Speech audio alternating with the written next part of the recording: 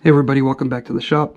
Today I'm working with a new material on my Sovol SV01 3D printer, and I thought I would share with you my experience that I've had with it. Today I'm working with this iSanMate glow-in-the-dark PLA Plus filament. And uh, this is my first time working with PLA Plus, and it's been a pretty positive experience. It prints almost exactly like PLA. I did bump up the temperature by about 15 degrees more than what I usually print PLA at, so I'm running it at about 215 and it prints just fine. It sticks to the bed just fine. Everything has been great. The reason I was intrigued by this particular filament is obviously because it glows in the dark, and we will be taking a look at that shortly. But let me talk about the filament first, and then we will get to what I printed with it.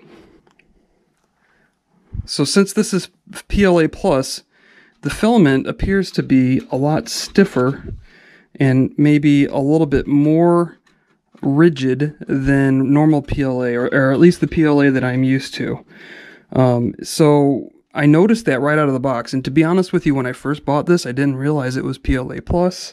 I thought it was normal PLA but I knew there was something different about it as soon as I tried to load it into my extruder because there is a noticeable difference in the stiffness of the product.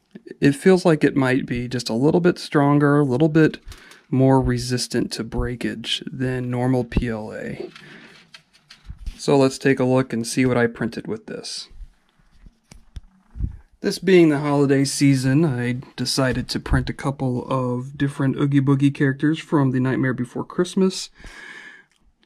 I thought that the glow-in-the-dark nature of the filament was perfect for this type of a figurine. And I also printed my Benchy, which I do with every new filament that I try out, just to make sure that it prints as expected and that the settings that I have for it um, are good. So what I want to do is I'm going to go ahead and turn out the lights and we're going to take a look at these. And then I'm going to take a look at these with a black light on them. And you will kind of see the difference between what the natural glow is and what I would call maybe the enhanced glow with a black light. So first, let's take a look at the normal glow that these give off with the lights off.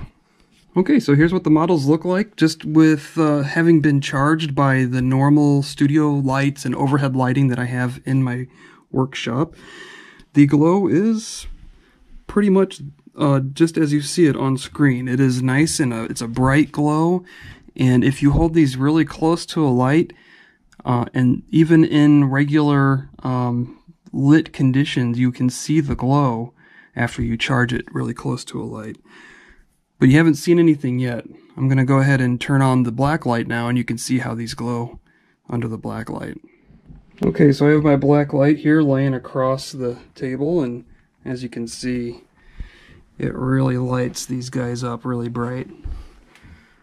And um, it also seems to light up my yellow filament, which I suspected was fluorescent, but it's supposed to just be yellow.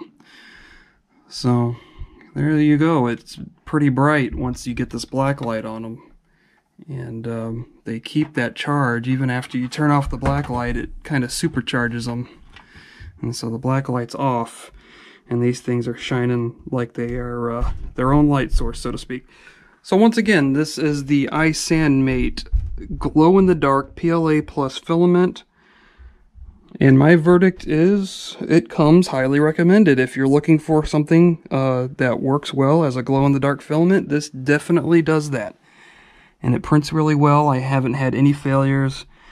All the prints have come out highly detailed and they just look really well. It sticks to your bed. There's no curling, no shrinkage. Everything works out as expected. So I'm pretty satisfied with this. So I feel like before I sign off, these guys need maybe a couple of finishing touches. So let me do that really quick and then I will be back to sign off on this video.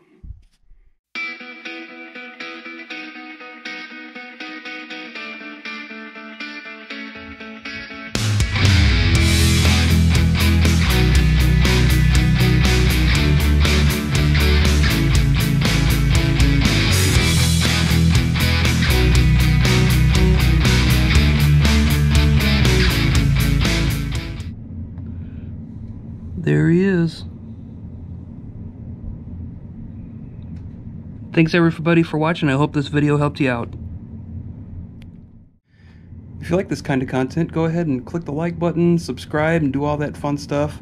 Be sure to leave a comment too. Tell me, guys, tell me what you guys think about uh, old Oogie Boogie here.